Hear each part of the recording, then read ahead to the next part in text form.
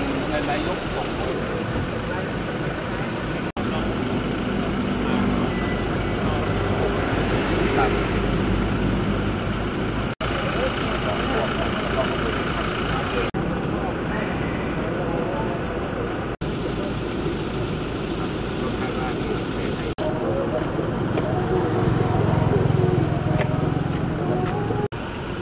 ba được không? Làm đây.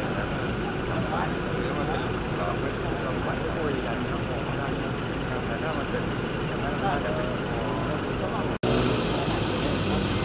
าตรงนี้ถ้าเครื่องตั้งได้ก็ถูกไปเลยครับท่านไอ้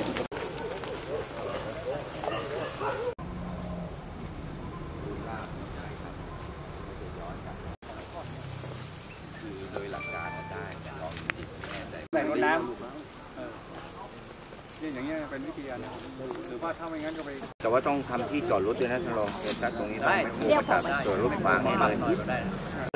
ชาวบ้านมาปุ๊บแต่จอดตัวนั้นเทียบมาไม่ได้แล้ว ครับ มาได้ต้องต้องเอาใหม่แล้ว มาได้แต่มามันยังไม่มาก็น่าจะได้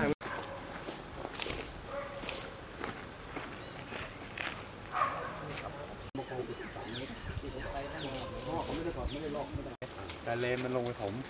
สองเมตรเห็นไหมแนวทางเราต้องเอา2เมตรเมตร เราต้องการออกประมาณ 2 เมตรจริงๆมันต้องออกจริงๆอะทางทางเอ่อคนที่ใช้น้ำเขาคิดว่าถ้าลอกได้สองเมตรเนี่ยที่เดียวถ้าเกิดว่า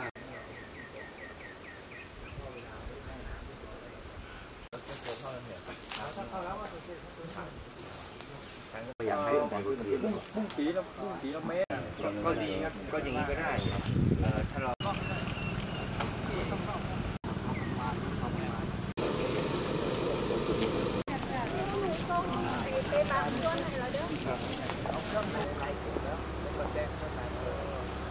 แต่ถ้าทำหมอปลูกป่า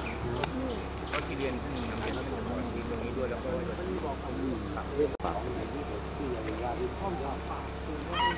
มันใช้เครื่องบินทหารบางส่วนด้วยใช่ไหมแล้วใช้นั้นอยู่พอพอมาที่เนี่ยเขาต้องเอาเครื่องบินปีที่แล้ว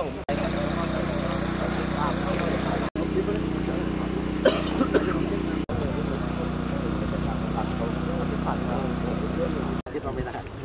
ถ้ามีความจำเป็นแหละแต่เอาเร่งด่วนตอนนี้ทางงบเร่งด่วนก็เพราะว่าตรงกลางมันลึกกี่เมตรจองผูกจองหมดทำงานทำงานไม่ได้ชาวบ้านก็เดือดร้อนจะยังไงกันผมว่าถ้าออกไป เด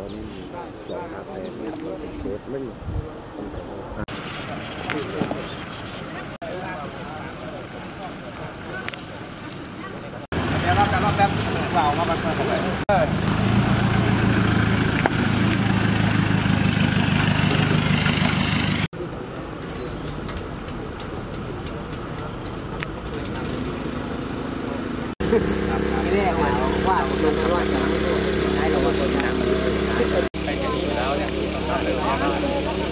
ถ้ามันมีมันมาแล้วถ้ามันมีเนื้อเนื้อมันมีเนื้อง่ายเนื้อมีเนื้อ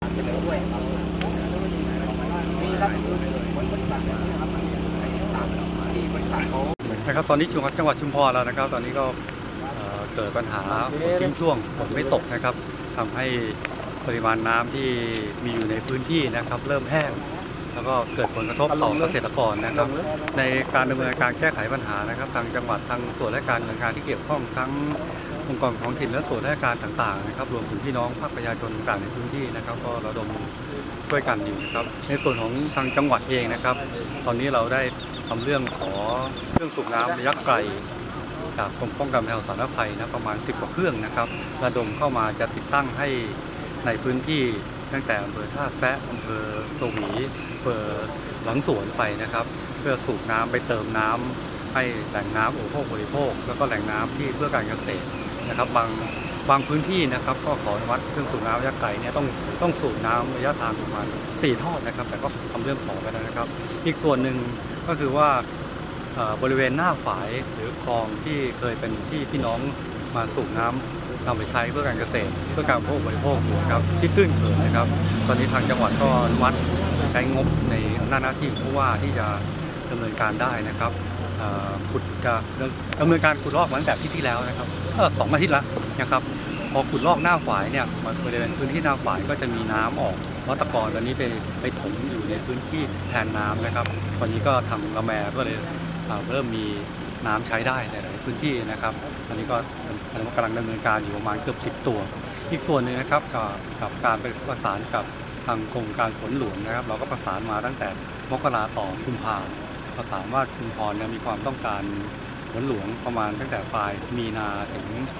ปลายมีนาต้องต้องเริ่มปฏิบัติการเพื่อเติมน้ำแล้วนะครับ ซึ่งทางโครงการฝนหลวงก็บินมาตั้งแต่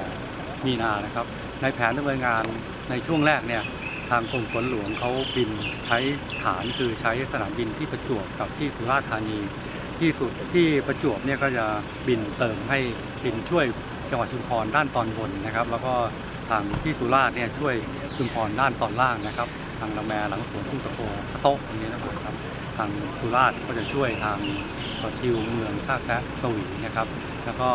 อาทิตย์หน้าเนี่ยครับคุยกับทางท่านผู้บริการศูนย์บริการฝนหลวงภาคใต้นะครับ จะมีการปรับแผน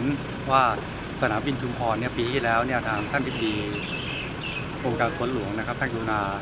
พอร้องขอไปท่านก็เอาเครื่องบินระดมมาตั้งฐานบริการที่ชุมพรแต่ปีนี้เขาจะปรับแผนใหม่เนื่องจากว่าถ้ามาตั้งฐานที่ชุมพรเนี่ยบางทีอาจจะขึ้นบินไม่ได้ในช่วงที่มีฝนนะครับก็เลยใช้วิธีสนามบินชุมพรเนี่ยเป็นเป็นฐานปฏิบัติการในการเติมสารนะครับ พอบินมาแล้วเนี่ยปุ๊บพอสารหมดนะครับ ก็จะลงที่สนามบิน